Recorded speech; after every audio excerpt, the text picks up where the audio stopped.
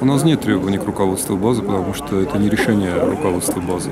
Это решение правительств Армении и России.